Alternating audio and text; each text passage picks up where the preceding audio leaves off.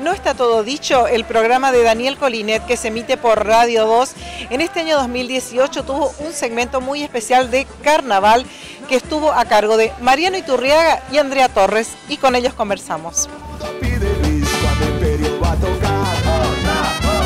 Todo el mundo está feliz.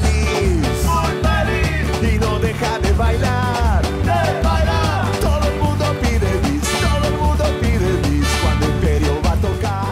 Es este No está todo dicho de carnaval, Mariano? muy activo, muy intenso, muy chispeante.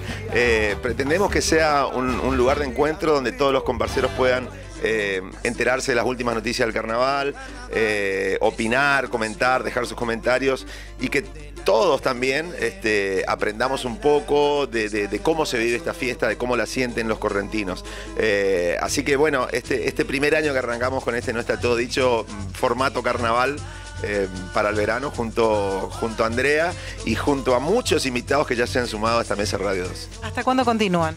Hasta que termine el carnaval y probablemente una semana más porque siempre el carnaval deja muchas cosas en el tintero para seguir hablando y para seguir debatiendo y seguramente estaremos invitando a los ganadores y a los perdedores también para que todos den su, su, punto, su punto de vista y seguir hablando un poquito más de todo lo que deja esta edición de los carnavales 2018. ¿Qué te ha gustado y qué no de estos carnavales, Andrea Torres?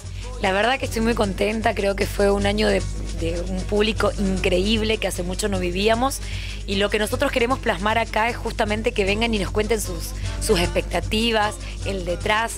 Este espacio de carnaval que tenemos aprovechamos para conocer no solamente el comparcero que está ahí, sino el detrás, la persona, cómo vienen, cómo lo arman. Así que eso es lo más lindo que está teniendo nuestro carnaval y lo queremos expresar en este programa. Si bien ustedes les comprende las generales de la ley en cuanto a agrupaciones musicales, eh, les pido que se arriesguen. ¿Qué comparsa gana este fin de semana?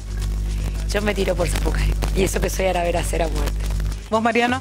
Yo vi un show muy, muy lindo de Zapucay, pero vi un desfile de Aravera muy lindo en el Corsódromo. O sea que yo salí del show diciendo, no, este es el año de Zapucay. Pero fui y los vi a la verdad en el corso y dije, no, este es el año de la verdad. Y entonces estoy, estoy ahí. No puedo, no puedo todavía dar mi veredicto final.